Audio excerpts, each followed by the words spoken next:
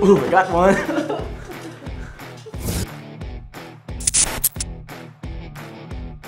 Let me see if I find. Where is that? Ooh, right here. Hey guys, my name is Matheus and I'm from Brazil. And actually, I went to Brazil for my outreach in SOE. And I want to talk a little bit with you about my experience in Brazil. I went, we went to Brazil and I was the only Brazilian in the team. And we were part of the Send. I don't know if you guys know, but it was a conference and I event, a missionary event in Brazil. And there was a lot of people there, thousands and thousands of people there.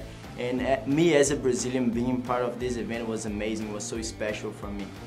I went with the international team from YWAM, the multicultural SOE, different nationalities, and for me was so special because I could see what God was doing in my nation.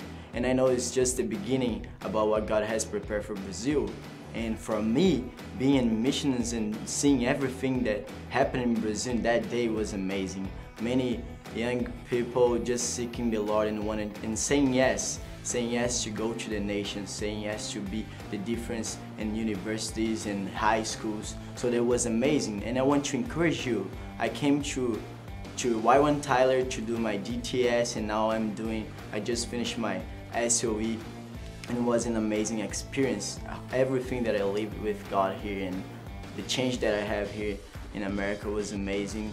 So I want to encourage you to come and if you say yes to God, just come and join us.